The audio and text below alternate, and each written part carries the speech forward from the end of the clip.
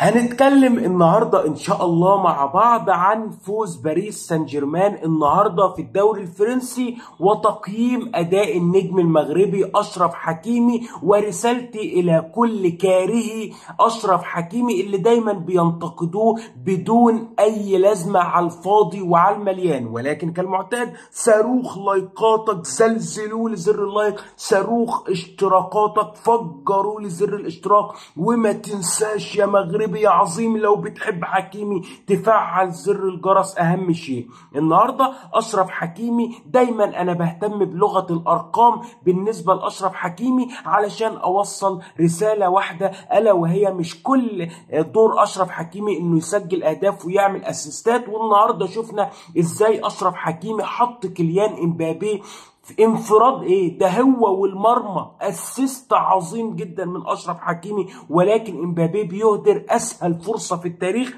علشان يحرمنا من أسيست أشرف حكيمي. أيضا النهارده باريس سان جيرمان أبدع النهارده وضعف المنافس كان ليه عامل مهم جدا إن باريس آه يظهر بالشكل ده ويفوز بثلاثة أهداف. ولكن اللي يهمنا ونرجع تاني نقول إن أشرف حكيمي لغة الأرقام هي التي تتحدث عن مدى إبداعه تدخلاته الدفاعية النهارده 100% صحيح صحيحة كلها أربع تدخلات من أربع تدخلات. أيضا عنده نسبة تمريرات صحيحة 95% وصنع أربع فرص خطيرة منهم اتنين واحدة لمبابي واحدة لميسي. الصراحة يحط يتحطم في غرائب وطرائف الفرص الضائعة في عالم كرة القدم. في النهاية كل التوفيق لأشرف حكيمي في القادم وإن شاء الله أشرف حكيمي يستمر ويستمر ويستمر في التألق في الفترة المقبلة. علشان ده كل ده في مصلحة المنتخب المغربي قبل كاس العالم